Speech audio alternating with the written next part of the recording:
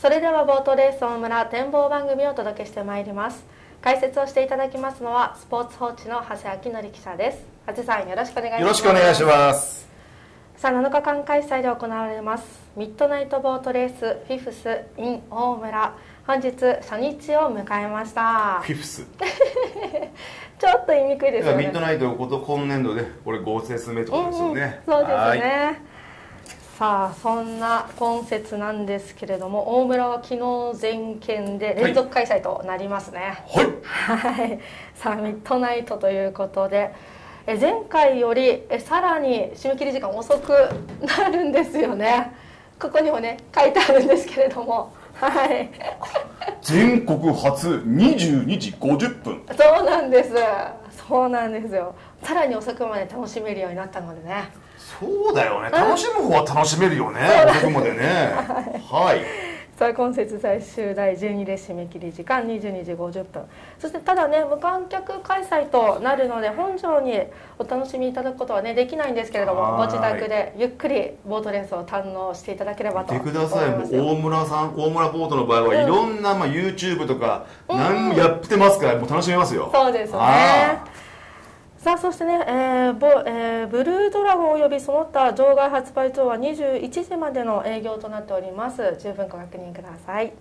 えそして今節は7日間の超ロングランシリーズです。長谷さん。持つかな？どうでしょう？持つよ。持たせるよ。持たせましょう、はい、はい、予選は4日目の第11レースまで。そして5日目にベスト24による、えー、準優進出戦が行われ6日目に準優勝戦。最終日に優勝戦が行われます。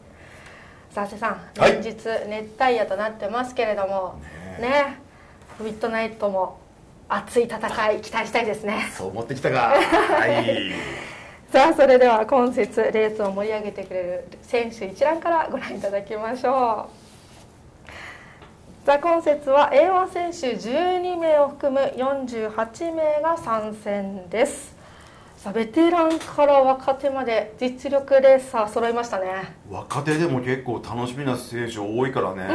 いやでもあの A1 が12人いるの。ええ多いですよね。多いよね。はい。でなんかパッとメンバー見て思ったのが、えー滋賀支部が多いんですよね。そうなんです強い選手、滋賀支部が、ちょっと言いにくいけど、僕の場合ね、滋賀支部が11人。だから、A112 人のうち5人が滋賀支部ですからね。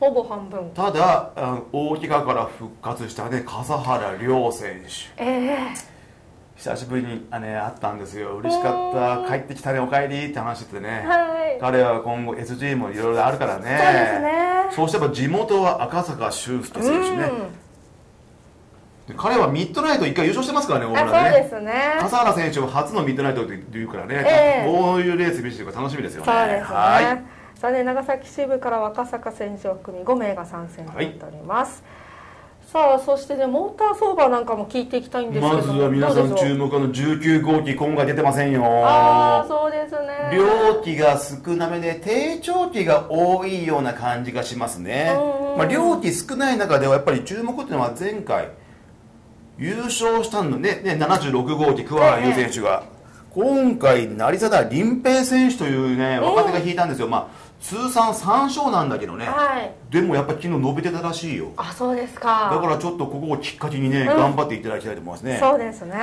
強い主力の中でいうとこれ赤坂選手がこれ55号機というコース上機引いたんですよ、うんうんうん、昨日にっこりしてた。あそうですか。あと笠原亮選手もこれいいし、うん、地元小葉選手、はい、小葉祐介これもね回り足系がこれいいモーターなんですよ、うんうん、で昨日ね評判だったのがね、はい、っていうか自分が言ってたんですよ松井浩也選手がえらい気配良かった。あそうなんですね。いいですよって。久しぶりにって。期待できますね、うん、そしてあと全県一番時計が藤山翔太選手。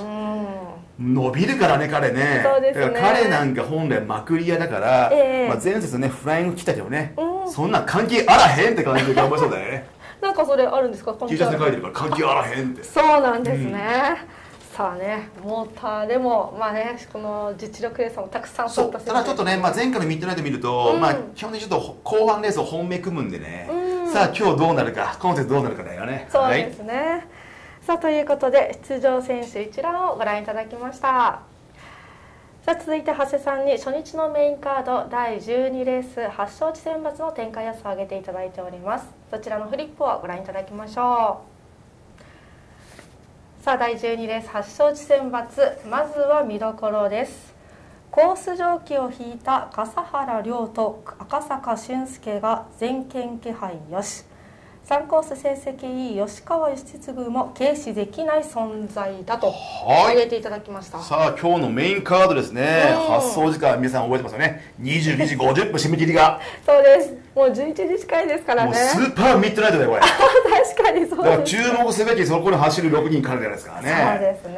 さあ笠原選手昨日ね、まあ、気配としてはいいモーターだよって。いやいいですよ。だってこれ前回石橋道友選手伸び評判でしたからね、そうでした。第一印象いいですよってから言ってました。あそうですか。スタートする足大丈夫ですよ、おお気配いいんだな。じゃあもうね今年のインの一着率75%ありますからね、えもう笠原亮選手これ陰線打ちで立つレースですよね。えそうですね。ただ赤坂選手もこれね、うん。いいモーターなんです。これ55号機皆さん覚えてますかね？あのね浜田有田選手が優勝したんですよ女子戦で。そああそうでした。の後高岡光選手があのパワー3強という中に入ってたモーターで、すごい出てましたね。前回も川上哲也選手ねスリット付近良かったんですよ。はい。赤坂選手もやっぱね大村モーターも詳しいんでね、うんうんこれいいモーターですよねって。あ赤坂選手から。不満ないですよって。あらー。今日感触いいですよこれでまだねはい。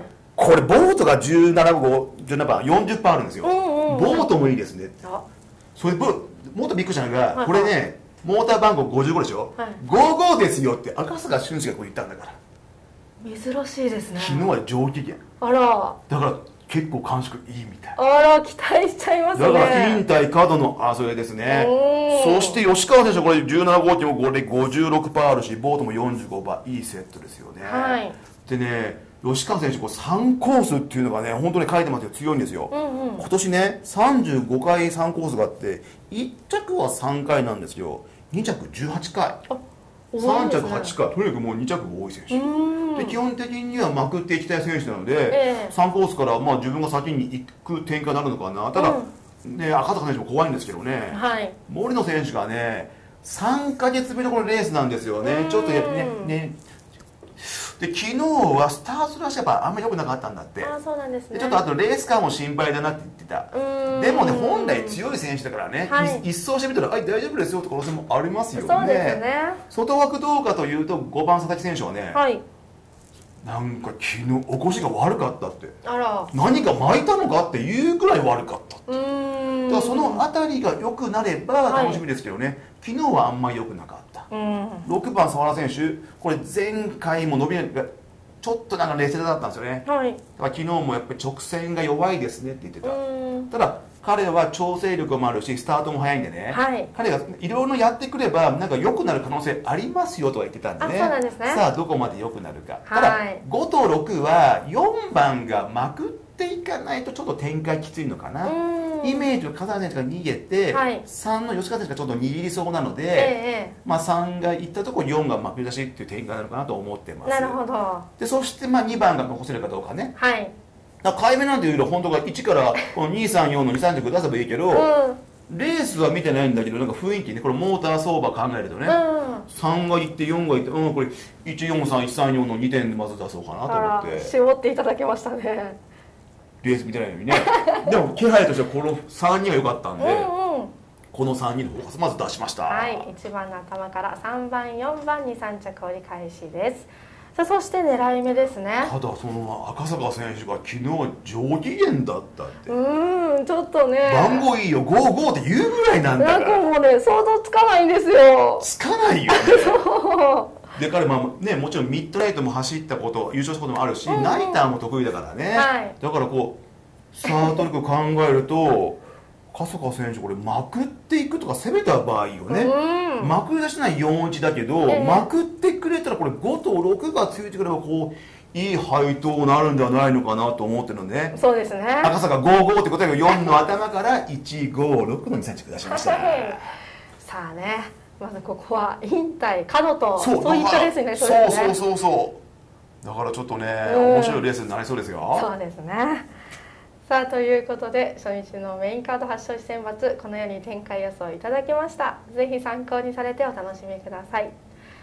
さあということで本日解説していただきましたのはスポーツ報知の長谷明則記者でした。長谷さんありがとうございました。お願いします